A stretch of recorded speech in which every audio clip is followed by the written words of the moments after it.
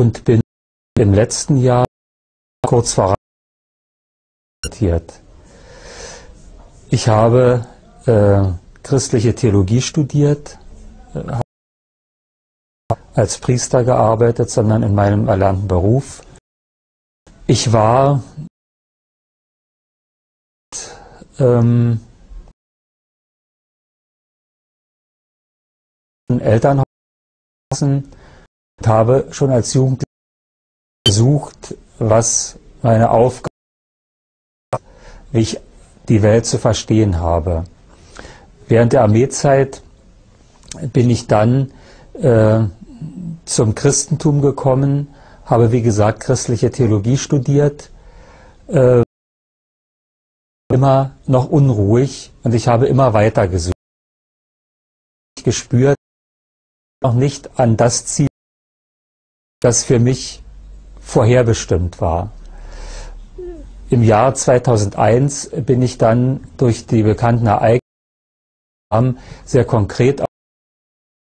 habe mich näher mit dem Islam ähm, äh, bin zu der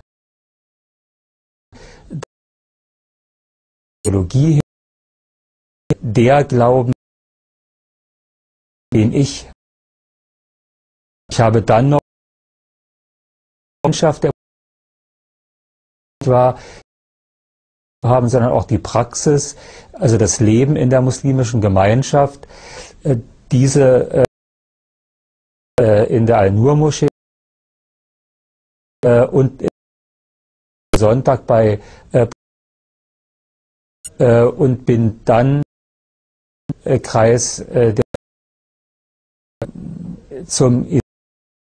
und ich muss sagen, jetzt merke ich auch nach äh, ruhig geworden bin und ich äh, die, die Überzeugung habe, dass ich das Ende meines gekommen bin, ähm, was für mich vorherbestimmt war, was der Glaube an Allah. Ich muss weiter lernen und mich weiter bilden, das ist klar, aber mein Herz ist bei ich kann sagen, ich habe das gefunden, wozu ich bestimmt bin.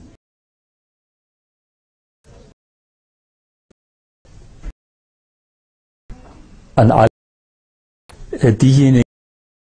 äh, die sich noch nicht mit dem Islam beschäftigt haben oder die äh, durch die Medien ein Bild des Islam vermittelt bekommen, was vollkommen falsch ist, denen äh, möchte ich sagen, beschäftigt euch und zwar so, Islam kennenlernt, geht in die Moscheen oder die euch ich denke, Situation ist wichtig, ein Urteil bilden. Der verdient, angebetet zu werden, außer allein Allah.